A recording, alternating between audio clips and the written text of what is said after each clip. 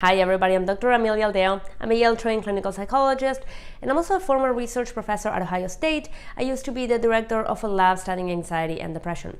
And today in Therapy Corner, I want to talk to you guys about exposure. And not necessarily about the nitty gritty of how to do a session, but actually about something way more important how to manage our very own anxiety about doing exposure sessions with our clients. We need to feel more comfortable so that we do these sessions more frequently and we can deliver higher quality care to all of our patients. Exposure is a key component of CBT for anxiety, and we know it's effective and we know it's safe. And yet, when it comes down to running an exposure session, we feel a pang of anxiety. We get uncomfortable. We want to procrastinate it. In fact, we might end up spending a lot more time on cognitive restructuring and not nearly enough on behavioral exercises. And I'll tell you, I've struggled with this myself, so have my students, so has everybody that I talk to, really. I mean, when I ask people about exposure, at the very least, they tell me they're uncomfortable, if not downright super anxious and completely avoidant.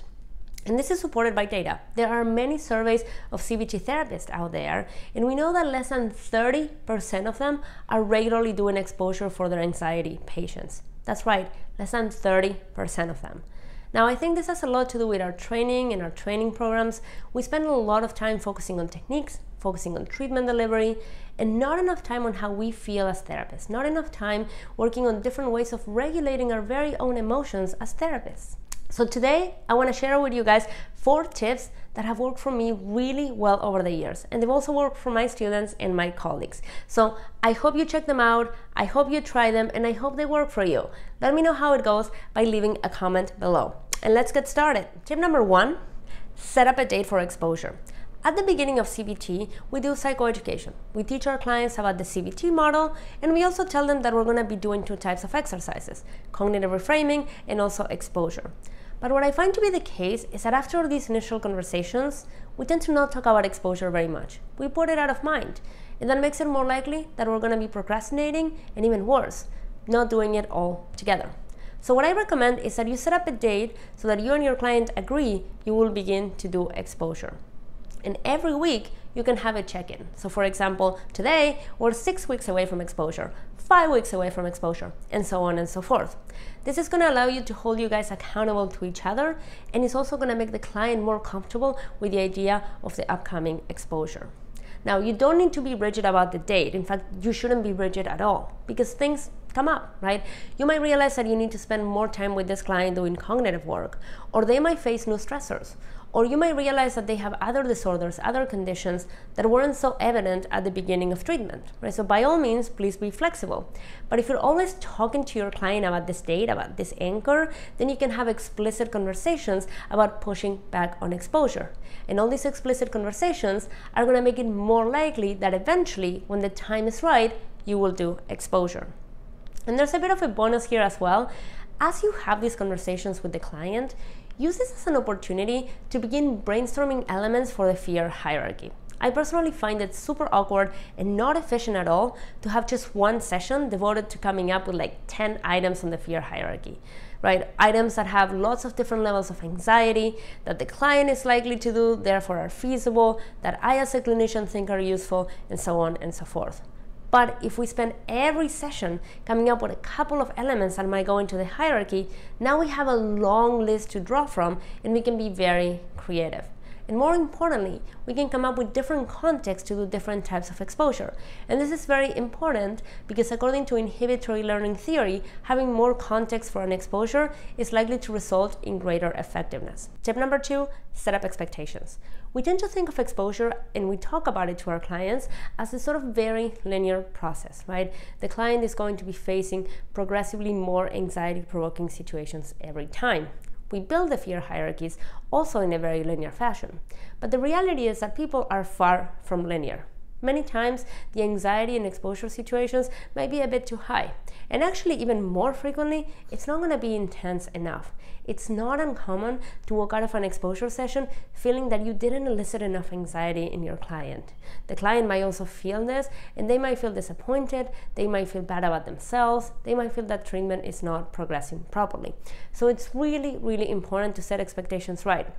Sometimes exposure it's not going to give them the same amount of anxiety as they are expecting it okay? Remember anxiety it's all about expectations right? So sometimes we think a situation is going to make us really anxious and then it doesn't right? So maybe that's not so much a failure of exposure maybe that's a lesson to be learned about expectations and anxiety yeah. But nonetheless, you want to set expectations right. And what I like to do with my clients, I like to talk about exercise examples. So, for example, if you go to a spin class, you get a great workout, you release a lot of endorphins, and it feels great. Maybe you go the next week and it doesn't feel as good. And there's no clear reason.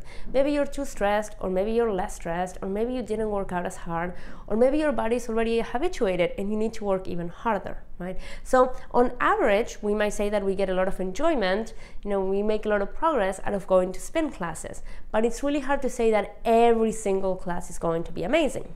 the same applies to exposure exercises. And now, as a bit of a bonus for you guys, when you do come across a situation in which it doesn't seem like you're listening enough anxiety in the client, there are two things to keep in mind. First of all, the items on the hierarchy might no longer be relevant, the order may no longer apply. So you want to be very recursive. You want to be constantly checking in with your client about the hierarchy. And the second thing that might be going on is that they might be using safety behaviors. So you might have to be very mindful and try to counteract this type of behavior. I'll make a different video about safety behaviors later because it's a very long topic. Tip number three, seek out emotional supervision. I mentioned before how we spend a lot of time focusing on developing techniques and not enough time on developing emotion regulation skills as therapists. So talk to your supervisor and see if they're willing to give you a few minutes each session so that you can talk about the feelings you're having about exposure. And if your supervisor is not the right person for whatever reason, don't worry, there's plenty of other people you can talk to. There's probably older students in your program who also have done exposure, there's probably professors who've done it as well, and there's also a broader network of people that you can reach out know, the community of clinical psychologists and of anxiety experts. And even if you're a professional, you might still struggle with doing exposure exercises. We know that less than 30% of CBT therapists out there are actually doing this on a consistent basis. So what I recommend here is peer supervision. I'm sure there is somebody in your clinic, your neighborhood, or your network who's done exposure treatment before. So reach out to them and ask them if they're willing to give you peer supervision. You can offer them peer supervision in return, or maybe supervision for one of their students. So give this a shot. Number four, self care. This should have been number one, probably because it's so important and certainly something that we don't talk about enough. So, what I would say is on the days that you do exposure, try to set up some time to decompress, to relax, to process your emotions. Now, I'm not saying go get a two hour massage and a very long bubble bath because you might not have the time, the money, or quite frankly, the interest in doing that. But find things that give you joy, find things that allow you to decompress in the middle of the day. They could be small things. For example, go to your favorite bakery and buy a treat, or go for a walk listening to your favorite music, maybe for like 10 minutes, or do a quick mindfulness exercise, or I don't know, at the end of the day, go home and get a glass of wine, whatever works for you. But definitely make sure that you're setting up that time for yourself. So these are my tips for how to get more comfortable with exposure. I hope you guys try them and I hope you like them and I hope they work. So let me know how it goes by leaving a comment below. If you have other tips, suggestions or comments, also let me know by leaving a comment below. And don't forget to like the video and subscribe to the channel and also to share with people in your network. Friends, classmates, professors, students, anyone who's interested in these topics. You can do so in a number of ways. You can share links to the video or you can share my posts on social media. I'm on Instagram and I'm on Twitter. Thank you very much, and I'll see you guys next time. Bye bye.